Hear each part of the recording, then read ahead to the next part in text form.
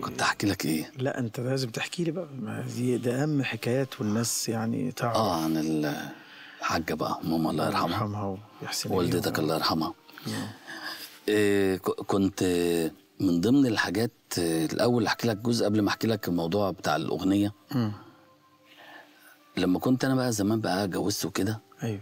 فاتنقلت مصر.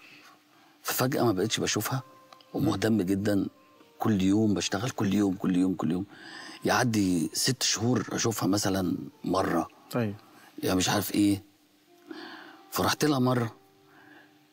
وكانت في المحل. إحنا عندنا المحلات بتاعت الفوتوكوبي. فلقيتها إيه؟ قالت لي تعالى اسمع. قلت لها اسمع إيه؟ اسمع ميادة الحناوي. لها ميادة الحناوي إيه؟ بتقول إيه؟ الحب اللي كان. الله. قلت لها الحب اللي كان إيه؟ ده بين اتنين بيحبوا بعض. أيوة. قالت لي لا. بص كان زمان الحب مالي بيتنا سرق منا فرحتنا مش عارف.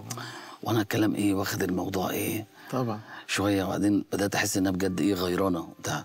خدتها في حضني كده و... بدأت بقى طبعا أهتم بأمي شوية وبتاع. مرة بقى جه عيد الأم. وعملت لها عملت أغنية كانت في مسلسل عليا ويكا. مم. عملتها لخيريه أحمد الله يرحمها. وكانت الأغنية دي قلت أنا هعملها لأمي. في عيد الأم واديها لها. وجيت قبل عيد الأم. ورحت لها بالأغنية. ما كانش فيه بقى طبعا لا فلاشاية ولا كمبيوتر ولا أيوة. هو ال- السي دي ووكمان. أيوه. وطلعتها للبيت قالت لي تعالى أكلك. طلعتها البيت قلت لها اسمعي أنا هعمل لك مفاجأة.